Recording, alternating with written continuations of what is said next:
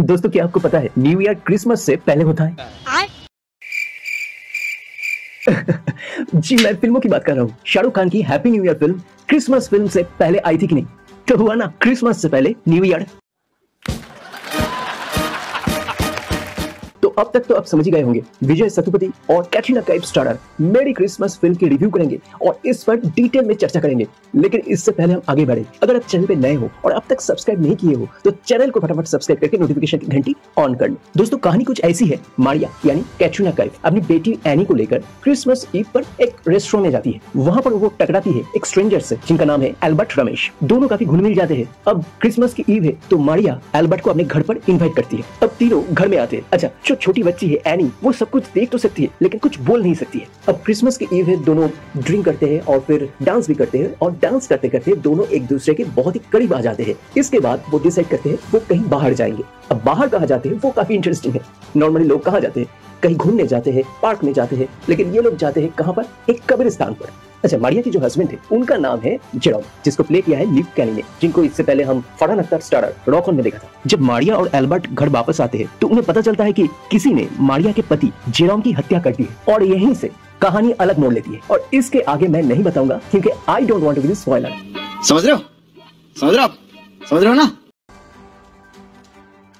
देखिए अगर पॉजिटिव्स की बात करूँ तो इस फ़िल्म के बहुत सारे राइटर्स हैं, जिनमें से इस फ़िल्म के ही डायरेक्टर श्रीराम राघवन खुद है और उनके साथ को राइटर्स है अरिजीत विश्वास पूजा लड्डा, अनुकृति पांडे।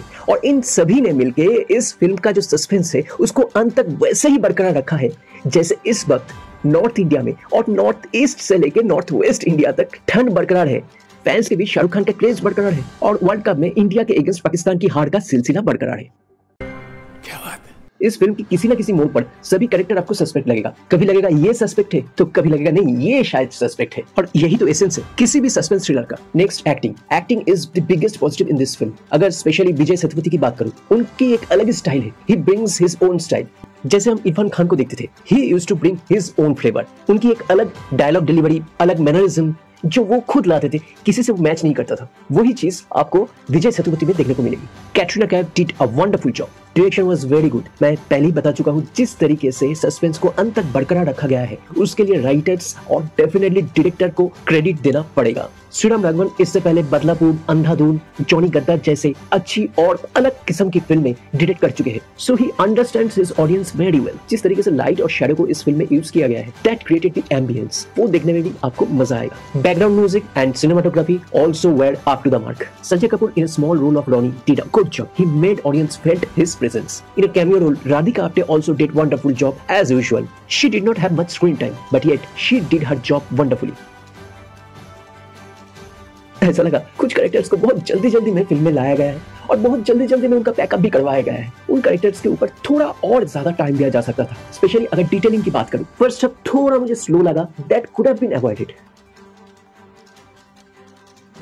दोस्तों फेडरिक डर्ट की बुक ला मॉन्टी चर्च पर आधारित मैरी क्रिसमस फ़िल्म 60 करोड़ में टिप्स फिल्म्स और मैच बॉक्स पिक्चर्स की बैनर्स के तले बनी है। After the day two this film has earned 9.37 crore net in India और मेरे तरफ़ से इस फ़िल्म को three stars out of five दूँगा। फ़िलहाल मेरे वीडियो में इतना ही। अगर वीडियो अच्छी लगी है तो लाइक शेयर एंड कॉमेंट और साथ में चैनल को भी सब्सक्राइब कर लेना। हिंद।